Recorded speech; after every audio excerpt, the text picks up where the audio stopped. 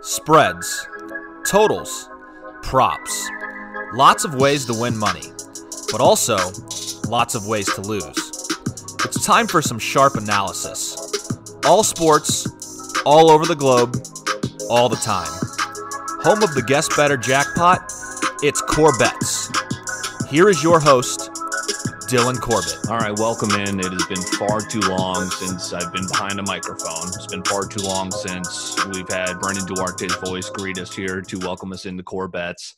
On a Saturday, we've been posting our plays, had another solid positive day for both of us, um, just tweeting them out. But again, this um, being posted, the Saturday edition of Core Bets. Don't worry, I've been putting money in every single day. We're going to have Brendan Duarte, our new guest better, has not gone away. That will return. But things are settled here. We've got the Minnesota background, uh, the wall of losers, Matt called it. Uh, not wrong. You know, we've got maybe some Anthony Edwards, of course, you know, oh, it's the Minneapolis Miracle. Um, but I've also got a tour of my entire office coming out that I'll post on social media. So look for that. But let's get to it. Uh, the guru, Matthew Cruzin, he's got some college basketball plays for you. I've been starting to get a little hotter at college basketball, so I'm pumped. Uh, you know, I took a couple days off because I'm moving, but I'm starting to see the board a little bit more clearly. I was picking my spots. Then I saw this UFC card today. Oh, God. So a lot of plays from me, but uh, we'll get to it again, and let's always cash as usual. A couple of system plays here. Um, I'll stick with college football, and then we'll get to Matt's college football and keep the main course at college hoops uh, for the end of this podcast. I like the under in Tennessee, Texas A&M. It's at 51. I think there's going to be uh, not that many points. Tennessee's actually been a little bit of a cover machine the last two weeks lately. They covered against Florida. Um, so I'm worried about this number in terms of sides, but I think this is going to be an under game. Uh, under 51. I like Iowa State here in the Big 12 championship. Just too many points for me. I know Oklahoma has been. I've been riding them uh, since they what went one and two and then went on a tear. Uh, I think Iowa State's a really good team. Dan Campbell, uh, maybe it's Matt Campbell, but their coach. Um, he is going to be a hot commodity, not just in college football, but in the NFL as well. I've seen. So I like Iowa State there. Let's see if they can win that uh, plus six. Uh, let's see here. Other college football. Let's go to a service academy game. I like Army here plus two and a half. You're going to see this stat floating around about the unders, how it's like 35 and eight when service academies played. That scares the hell out of me, especially when this total's in the 30s. So I'll play Army here. I think a pretty solid team. Uh, and then I've got Penn State blowing out Illinois. I know they just hired their new coach. Um, maybe you've got some more. Isn't it uh, Brett Bielema or something? Brett Yeah. yeah. I, that's actually. A, I mean, I'm not an Illinois football fan by any means, but that's got to be an encouraging hire. It's Yeah. a guy who's had track record success in the Big Ten at Wisconsin at a good program. Look, Lovie didn't have any success, but he really did change the culture. He put the steps in place. His downfall was he wasn't able to recruit. Bottom line, you got to recruit.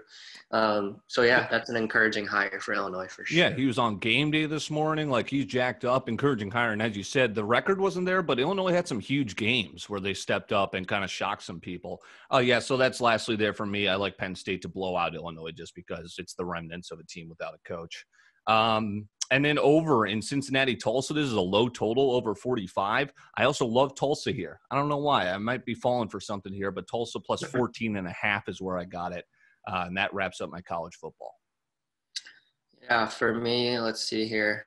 I like that Iowa State played too. Those two, those teams are too evenly matched. Um, I mean, hell, Iowa State's got like they took home pretty much every Big 12 category of like offensive, defensive, first teams, coach, all that shit. Matt Campbell's a good coach. Um, I don't know if I'll play that. If I do, it'll be Iowa State.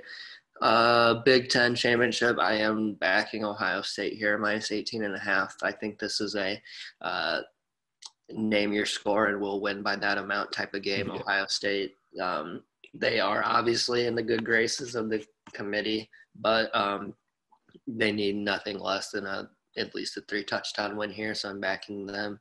Alabama minus 17. Look, this Florida team has been reeling. Uh, it could be a trap as simple as uh, Alabama's blown out everyone and Florida's coming off a horrific loss to LSU. Yeah. But even before LSU, Florida wasn't playing well. Trask had started to fall down a little bit. So we'll see how that game is. And then you already know Notre Dame plus 10 and a half. Look, when the announcements came out that Notre Dame was joining the ACC this year, I've tweeted, pray for the ACC. I warned you guys. Nobody listened. Yeah. They're doing what we knew we they would do and get to the game here. Um, this is a disrespectful line, and I think I can say that as that's an objective statement. A team who just who already beat you, you're now they're 10 and a half points worse because of a quarterback when the DJ Uiagalelei threw for 450 yards and scored 40 points. I mean, it's not like uh, Notre Dame beat them 10 to 3 the first time and all of a sudden Lawrence right. is back. So uh, I hope that's a shootout. And Clemson does have some guys on defense back, so that'll be a difference. And Clemson probably wins, but 10 and so, a half points. Uh, did it not open? Maybe the Action Network's wrong here, but it, did it open where Vegas had this as kind of like a seven and a hook game? And I think it's been public money that is just, you know, driving this price and line all the way up.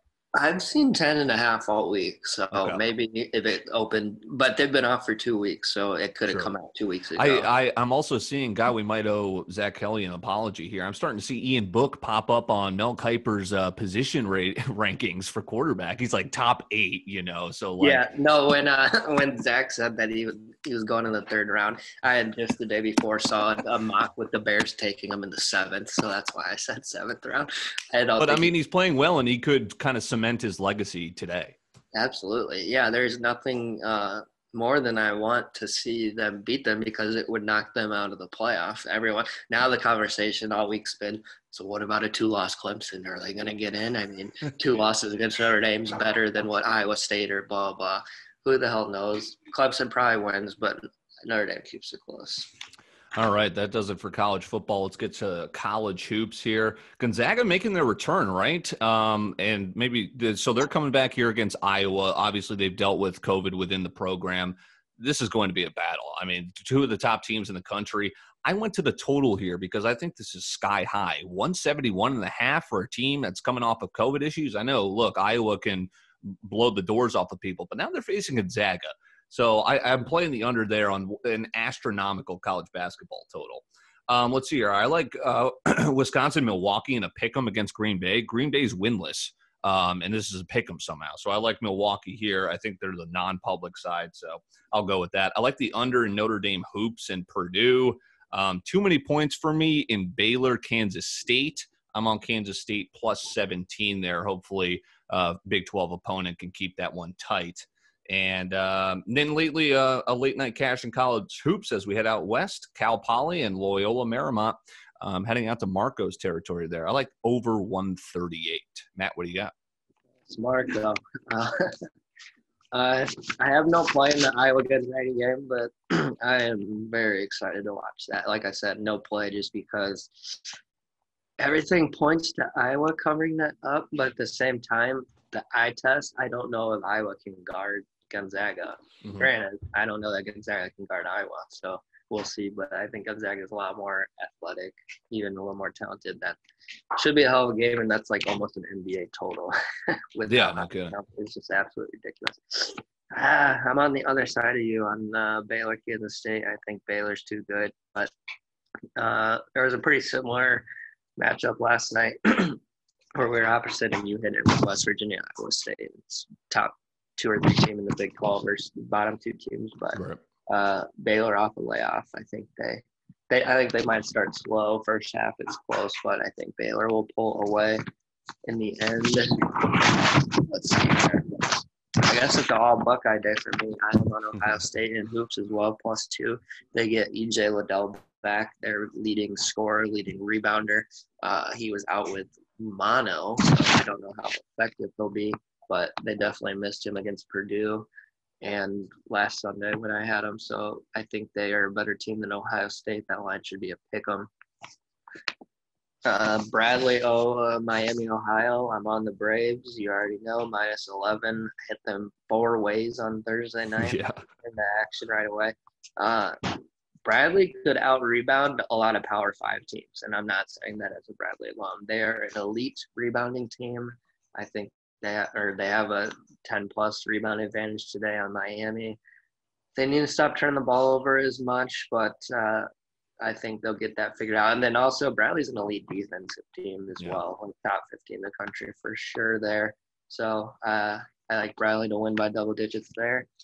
North Carolina, UK, Kentucky. I have under 141 here. Uh, these teams are very evenly matched, and they're very evenly pretty freaking bad on offense. I mean, they make four threes a game. They shoot 27 and 25% from three, respectively. They shoot less than 70% from the free throw line. They turn the ball over 16 and a half times a game, almost 20% of their possessions. Mm. Uh, true shooting percentage is only 50%. That is not good at all. Under 141 there. As long as we don't go to overtime, I like right. that. And that's because people. All right, that's good stuff. So we've got some great knowledge for you, some great picks coming back. No NFL for you? We got two Saturday games oh, here. Yeah. No. I'll filibuster while you take a peek because I've got just uh, two plays here. There are two games, and I'm going to Carolina Green Bay. It is the late game, and yes, for the listening audience, I am pulling out the Luke Kuechly Carolina jersey, which I will be wearing all day today. Let's go Panthers. I've got them at plus eight too many points for a very competitive team. I know Green Bay is good. They, I got them in the Super Bowl. I've been telling you that all year. I like Carolina here with the number, and let's go over, over 51 and a half. I got a Hail Mary push on the total uh, against Green Bay and Lions on Sunday. Um, but most people lost if you got that closing line by a half point. But let's get this one over Carolina and Green Bay. And then the other game, I believe, uh, coming up here, that's going to be uh, Bills Broncos. I actually like a play there. I think I think 49 is too many points. I like under 49 there. Um, Bills defense is not spectacular. Broncos, that's their only chances to play a defensive game. I mean, they kept that Kansas City game low scoring, and uh, yeah, 49 too many. I like under there. Yeah, Bills one of the hottest teams in the NFL too, and their defense plays. Broncos have a pretty solid defense as well. Of course, you're familiar with Vic Fangs Fangio, Matt, from his time in Chicago. Um, before we get it, get you out of here again, Corbettes, we're pumped to be back. I am live in Minneapolis. Uh, going to be doing a lot of cool stuff here, so um, it, you might have to resubscribe again. It's been a couple of days off, so we do appreciate you sticking with us, and we're pumped to get you some content back out there too.